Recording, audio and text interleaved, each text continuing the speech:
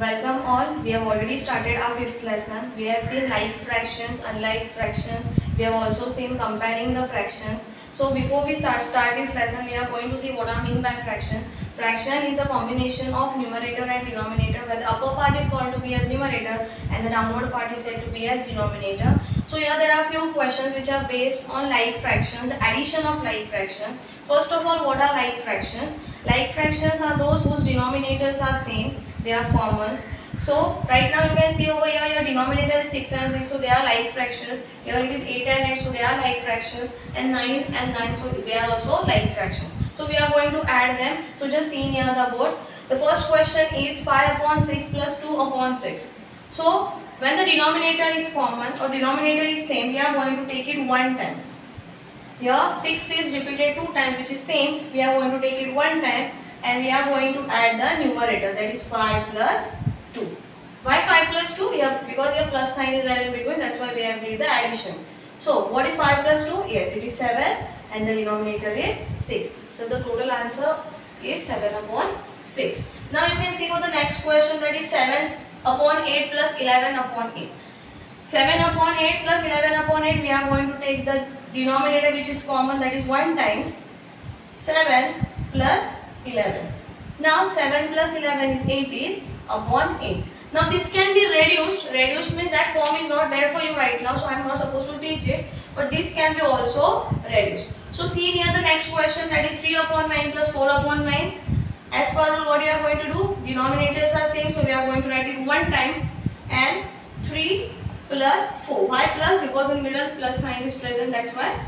3 plus 4 is 7 upon so this is the addition of like fractions. Now we are going to see the subtraction of like fraction. So we are going to see the subtraction of like fractions. Now you can see the denominators are same in all of the three questions. So we are going to subtract them.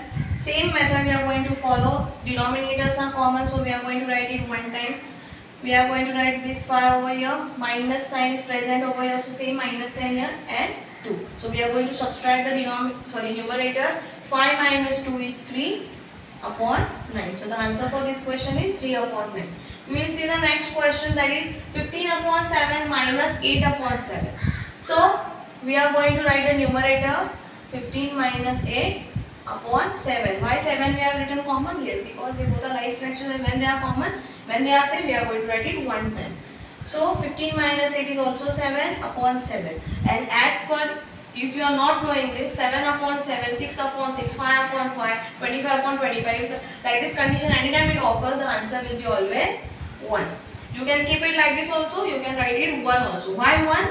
7 ones are 7, 7 ones are 7. So the final answer will be 1. Now 10 upon 3 minus 4 upon 3. If you can see clearly, denominators are same, so we are going to write it one time. 10 minus 4, that is 6 upon 3. So here that is subtraction. We have studied about subtraction of like fractions. Now we are going to see the addition and subtraction of unlike fractions. Just now we have seen the addition and subtraction of like fractions. Now we are going to see addition and subtraction of unlike fractions. First we are going to start with the addition of unlike fractions. Unlike fractions as per definitions we are knowing that the denominators are not same, they are not common. Right now you can see 8 and 4, they are different. So these both fractions are unlike fractions. So how we are going to add them? So this will be the first time for you how we are going to solve these problems. So just properly pay attention over here. You are going to do the cross multiplication. Cross multiplication means you are going to multiply this 1 with 4. I'll just shift this plus for some time little up. And we are going to multiply this 1 with 4 and you are going to multiply this 3 with 8. What you are supposed to do? We are going to do cross multiplication. Always remember one thing, cross multiplication is only done in addition and subtraction, it is not done in multiplication. Multiplication part is there for you in 6th standard. So please don't try to do something extra. Whatever is just given over here, please try to follow it. Just see over here 1 upon 8 plus 3 upon 4. For while we have just shifted that plus on top. What we are supposed to do when the denominators are not same, we are supposed we are going to do the cross multiplication. How we are going to multiply? we are going to multiply this 1 with 4 crossway and we are going to multiply this 3 with 8. You are going to start from the first number itself. Don't change the sequence. Don't start from 3 into 8. Start from 1 into 4. The next part you are going to do is, I'll just tell you, as per what we'll do, 1 into 4, that is 1 into 4. Middle sign is plus, so plus 3 into 8. 3 into 8. Is this clear? Now, what will be there at the denominator now? We have did the cross multiplication. So now, this 8 and 4 are remaining. So we are going to multiply them. 8 into 4. And we are going to write it both this side. That is 8 into 4 over here. 8 into 4 over here. Just see for this step again what we have did. We are going to do the cross multiplication how? This 1 into this 4 plus is there so plus in between 3 into 8 that we have written over here. This is your numerators now both the sides. And the denominator will be the denominators which are 8 and 4 I have, I multiplied both the sides. Now we are going to solve this. It will be more easy for you. 1 into 4 is 4. 8 into 4 is 32. Plus is as it is down. 3 into 8 is 24. And 8 into 4 is again 32. Now if you can see our denominators are same now. These unlike fraction got converted into like fractions. So just now we have seen how to add like fractions. When denominators are common, take them one time, add the numerators that will be 4 plus 24 will be 28 upon 32. So, so your final answer will be 28 upon 32. We'll just revise what we have did again. 1 into 4 plus as it is 3 into 8 we have written here denominators I have multiplied that is 8 into 4 same I have written over here 8 into 4 we have did the calculation 1 into 4 is 4 8 into 4 is 32 plus as it is 8 into 3 is 24 and 8 into 4 is 32 so denominators were common so I have written one time and numerators I have added so the final answer is 28 upon 32 so we will solve by the same method the next question. Just see over here. Denominators are not same. So what we are supposed to do? Yes, we are supposed to do the cross multiplication. How I am going to multiply? Just I will shift this plus again up first while me. This 2 and 3 I will multiply. I will multiply this 1 and 5. And I am going to multiply this 5 and 3. For these arrows I have did for you to understand kindly don't do this in the exam if you are doing also do it with pencil properly okay don't use pen over there so 2 into 3 that is 2 multiplied by 3 plus 1 multiplied by 5 this is these are your denominators sorry numerators so we are going to write the denominators that is 5 into 3 over here. That is 5 into 3 and 5 into 3 again over here. So now 2 into 3 is 6 5 into 3 is 15 plus as it is 1 into 5 is 5 5 into 3 is again 15 now they are converted into like fractions. So we are going to take denominator one time that is common because 15 and 15 are same that's why we are going to take it one time and 6 plus 5 we are going to write on the top 6 plus 5 is 11 upon 15 so your final answer is 11 upon 15 there are two methods given in your textbook. Kindly try to solve by this method because this is always convenient. Okay. So we will see the subtraction of the unlike fractions. So now we are going to see the subtraction of unlike fractions. You can see here the denominators are 4 and 2. So directly we cannot subtract them.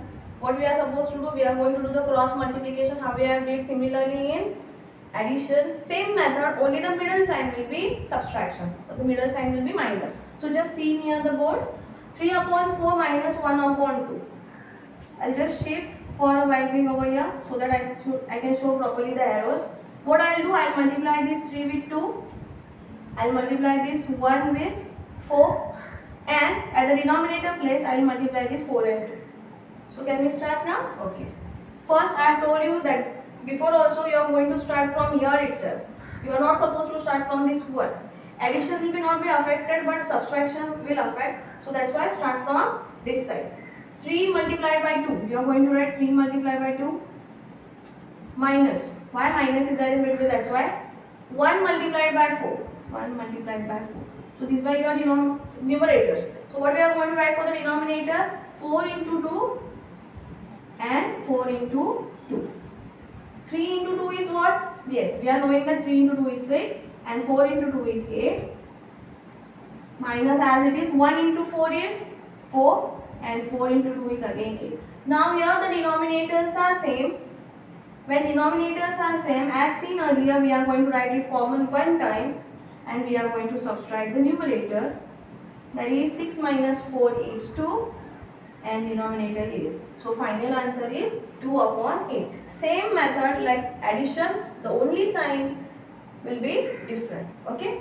So now 6 upon 14 minus 2 upon 7. Same, same we are going to now we are not going to draw, draw the arrows also because we are knowing clearly why denominators are not same. So we are going to do cross multiplication. Again I am telling you cross multiplication is done with respect to subtraction and addition not with multiplication division okay so 6 into 7 minus sign as it is 2 into 14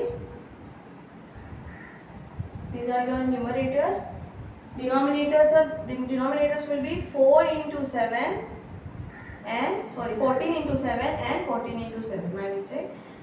6 into 7 is 42 14 into 7 is 98 minus 2 into 14 is 28 and 14 into 7 is again 98 so now denominators are same. So we are going to write it one time 42 minus 28 will write over here on top. Now 42 minus 28 you can solve over here if you are not knowing that 12 and this will be 3. 12 minus 8 will be 4 and 3 minus 2 will be 1. So the answer will be 14 upon 98. So I hope you have understood the subtraction of unlike fractions also. Okay, so the last part of this lesson is proper fractions, improper fractions, mixed fractions and this part. So we will see what actually is this also and these definitions also. The more descriptive about this part is given to you in 6th standard. For the basic side, I am just going to tell you today the definitions of these fractions. Proper fractions means what? You are knowing fraction is always represented in numerator and denominator. The proper fractions are those fractions where numerator is smaller than denominator. For example, 2 upon 3. Here numerator is smaller than denominator. 4 upon 10. 5 upon 6. I cannot say 15 upon 6 is proper fraction. I cannot say this. Why? Because your numerator is bigger than this denominator.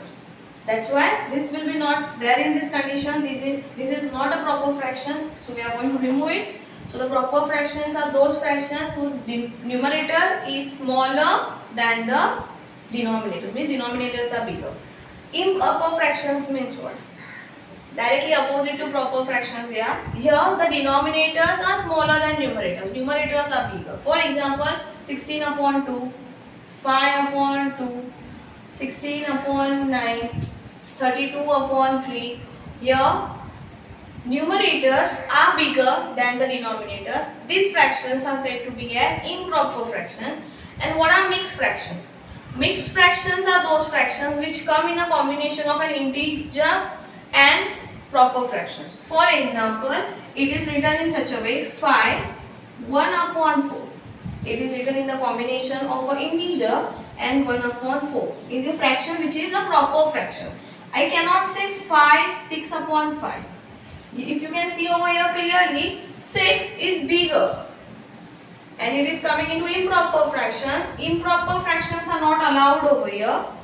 The condition is that in mixed fraction, the part which you are taking, a fractional part which you are taking, it should be in the condition of proper fraction. So, mixed fractions are those fractions which come in a combination of an integer and a proper fraction. For example, you can take 2, 4 upon 5, 3, 1 upon 9, 7, 2 upon 8. So, at this 7 you are going to represent in such a way which will be in between of that fraction. So, these are definitions of proper fraction, improper fraction and mixed fraction. Now we are going to see what is this next part. 2 upon 3 times of 9. How we are going to represent this? 2 upon 3 you are going to write as it is times of of if these words are occurring you should always remember there is multiplication in between and 9 is represented over here. What I did 2 upon 3 it is written as it is times of means you are taking the multiple of that particular number. So times of of if like these words are occurring you should always write multiplication in between and this number will be represented as it is. Now if you, if you clearly see in 3 stable 9 comes. So 3 ones are 3, 3 twos are 6, 3 threes are 9. So we are going to do the cancellation part that is 3 ones are 3, 3 threes are 9. So what is remaining over here? This 3 and this 9 got cancelled. Instead of 3 we got 1 and instead of this 9 we got 3. So now what is remaining? 2 multiplied by 3. 2 multiplied by 3 and at the denominator only 1. So the answer is 6 upon 1 that is 6 itself. Okay. So we'll focus on the next question that is 4 upon 5 times of 10. Means we are going to write 4 upon 5 as it is. Times of means you are going to write multiplication and 10 will be represented as it is. In 5 stable 10 occurs. So 10, 5 ones are 5, 5 twos are 10, 5 ones are 5, 5 twos are 10. So 4 into 2 which is remaining at the numerator place and now it is 1 that is 8 upon 1. So the final answer is 8. And the last part is 7 upon 11 of 22. Off is already given. So as per rule what we are knowing, we are going to write multiplication and 22 also as it is. In 11 table we are we can see that 22 occurs. So 11 ones are 11, 11 twos are 22. Here at the numerator 7 multiplied by 2 denominator 1 the answer is 14 upon 1 that is also we can say as 14 so i hope you have understood this lesson fractions. Go through this video again and again. This part will be covered in your test. So thank you